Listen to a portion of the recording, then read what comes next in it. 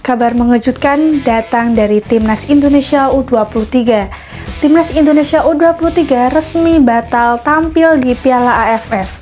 Penyebabnya karena tujuh pemain dinyatakan positif COVID-19.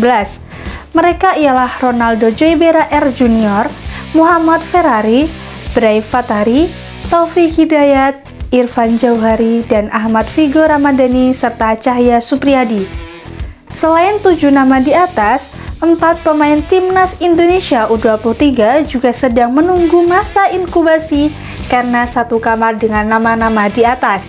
Mereka ialah Alvendra Dewangga, Genta Alparedo, Muhammad Kanuhil Miawan, dan Marcelino Ferdinand.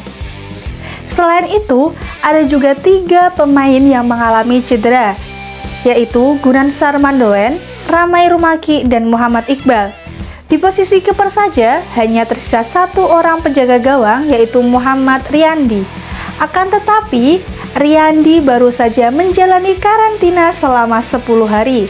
Satu kiper lainnya yaitu Cahya Supriyadi juga positif COVID-19. Karena itu, Sintayong meminta kepada federasi untuk membatalkan kiprah timnas Indonesia di Piala AFF U23 2022 dengan sangat menyesal, kami harus membatalkan keikutsertaan Indonesia di Piala AFF U23 karena alasan di atas. Kami meminta maaf kepada semua pihak karena situasi ini di luar kendali kami. Saat ini kami fokus untuk penyembuhan pemain yang terkena COVID-19 dan yang mengalami cedera, ujar Sekjen PSSI Yunus Nusi.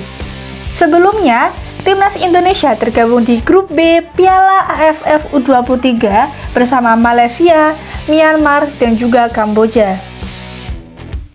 Itulah informasi yang kami sajikan untuk Sobat Fakta Bola semua. Semoga informasi yang kami sampaikan bermanfaat untuk kalian dan sampai jumpa di video selanjutnya. Bye-bye!